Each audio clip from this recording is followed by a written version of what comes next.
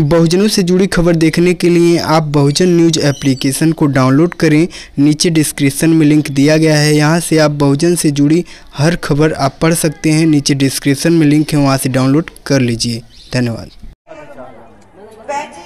बहुत खुशी हो रही है बिहार की धरती पे आकर के, क्योंकि ये धरती वैसे ही बहुत क्रांतिकारियों की धरती है।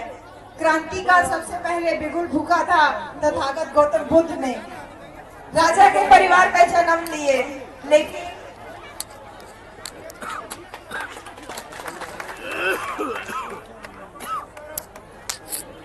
बरसों पहले बिहार की धरती पे ही एक राजा ने जन्म लिया और वो राजा ने अपना घर द्वार छोड़ करके इसी बिहार की धरती में बोध गया में आकर के तपस्या किया और उस अकेले व्यक्ति ने जो क्रांति की बिगुल बजाया, वो क्रांति का बिगुल आज तक दुनिया के बावन देशों में गूंज रहा है बहन जी।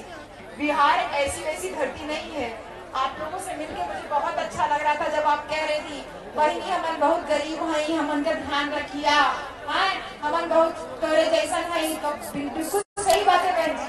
हमारा मतलब नहीं है।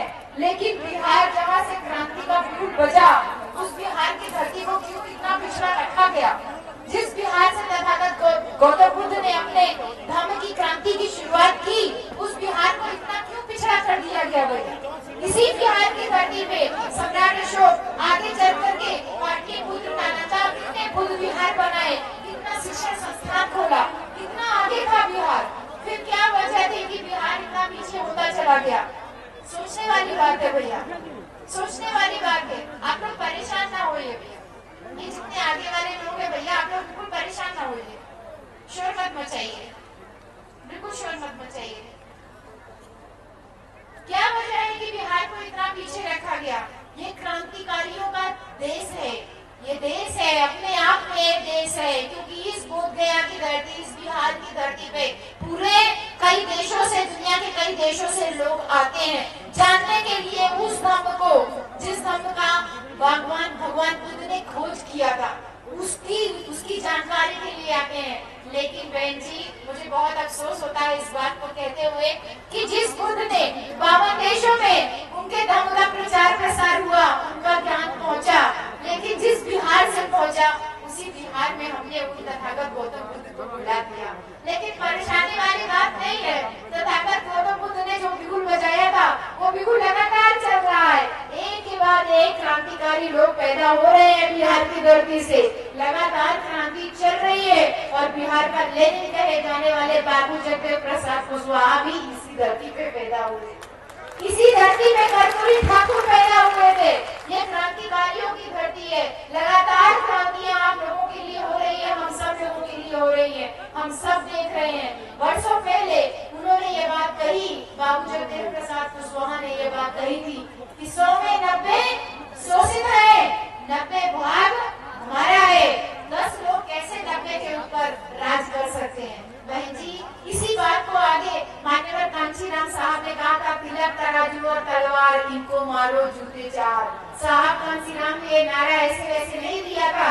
बाबू जगदेव प्रसाद कुशवाहा से उन्होंने प्रेरणा ली थी जो उन्होंने कहा था सौ में नब्बे शोषित है। नब्बे भाग हमारा है सौ के ऊपर। नब्बे के ऊपर दस का शासन नहीं चलेगा।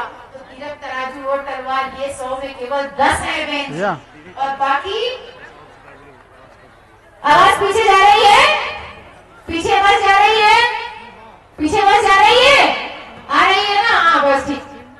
सौ में नब्बे शोषित है नब्बे भाग हमारा है। बहन जी, सौ में जितना दस होता है ना, कितना दस होता है ना, उतने भर है ये बाभन ठाकुर बनिया।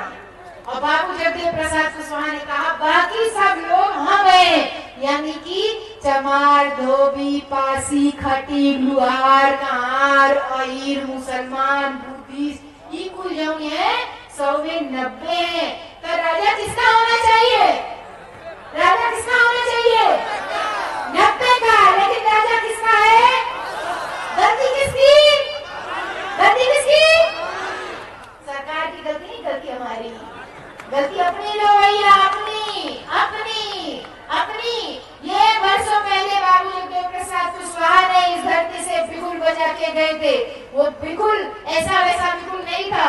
उन्होंने जो कहा था, मुझे वैसे बहुत उनकी बातें याद नहीं थी, लेकिन मैंने एक बहुत छोटी सी बात उनकी बात लिखी थी। उन्होंने ये कहा था, जैसे आज गाय के ऊपर बहुत राजनीति होती है, बहुत सारी बातें होती है, उसमें वो कहते हैं कि तुम्हारी गलती है, और इसलिए तुम अपनी गलती को सुधार सकते हो। और उन्होंने कहा, सदा भैंसिया गाइए, सदा भैंसिया गाइए, हाथ में लीजिए लठ, पाँच देव रक्षा अच्छा करें, दूध, दही, घी और ये बात लेनिन कहे जाने वाले जब बाबू जगदेव प्रसाद कुशवाहा बोल करके गए कि जो लोग गाय के ऊपर राजनीति करते हैं, जो लोग गाय को अपनी माँ मानते हैं, मानते रहे, हम भैंस को लेकर के राजनीति करेंगे, भैंस हम, आप भैंस को लेकर के आगे बढ़िए। पाँच देव रक्षा करें, दूध, दही, घी और मठ, और हाथ में लीजिए लठ। अब ये बताओ कि इतनी बड़ी जनसंख्या में तुम लोग, आप लोग सब यहाँ इकट्ठा हुए हो? कितने लोगों के हाथ में लठ है?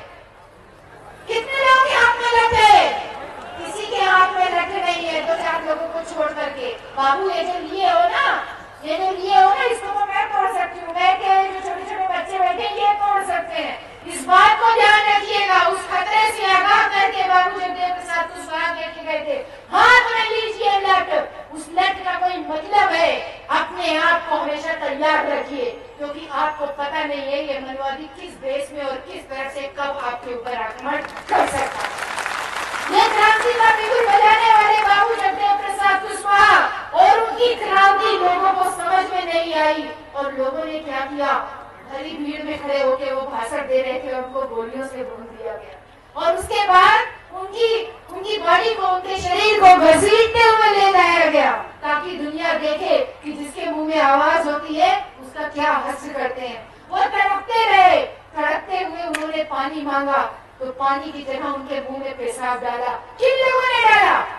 जिन लोगों को दिक्कत थी जिन लोगों को दिक्कत थी कि तुम्हारे हक की आवाज़ कोई उठाने वाला पैदा हो गया है उन लोगों ने हमारे बाबू जगदेव प्रसाद कुशवाहा के साथ में कितना अमानवीय व्यवहार किया था अब आप पूछिए कि वो कौन सी व्यवस्था है ये कौन लोग हैं जो लोग मरते हुए आदमी के मुँह में पानी डालने की जगह पेशाब डालते हैं आपके बिहार के जननायक कहे जाने वाले कर्पूरी ठाकुर बिहार के मुख्यमंत्री हुए थे ना कर्पूरी ठाकुर कर्पूरी ठाकुर जब मुख्यमंत्री हुए उस जमाने में राजनीति चलती थी ऊँची जाति के लोगों की ऊँची जाति के लोगों के बीच में अचानक से एक नाई जाति का मुख्यमंत्री हो गया सोच करके देखिए कि वो कौन लोग थे जिन लोगों ने कहा कि कर्पूरी कर्पूरा छोड़ो, गद्दी थामो उस तरह।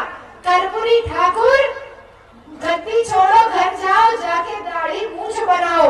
यानी कि तुम अपना पुश्तैनी काम करो, तुमको मुख्यमंत्री बनने का अधिकार नहीं है। ये तब हुआ जब कर्पूरी ठाकुर आपके और हमारे लिए, यानी पिछड़े समाज के लिए, दलित समाज के लिए नौकरियों में आरक्षण की व्यवस्था कर रहे थे। सोच करके देखिए ये कौन लोग हैं जो लगातार हमारे ऊपर आक्रमण कर रहे हैं। हमारी एकता को छिन्न भिन्न करने की कोशिश कर रहे हैं। और सबसे बड़ी बात तो ये है, सोच करके देखिए कि वो कौन लोग थे। जब राम नरेश यादव जी उत्तर प्रदेश के मुख्यमंत्री हुए तो उन लोगों ने कहा, राम नरेश यादव, वापस जाओ जाओ, घर जा करके अपनी भैंस चराओ। ये कौन लोग हैं जो हमेशा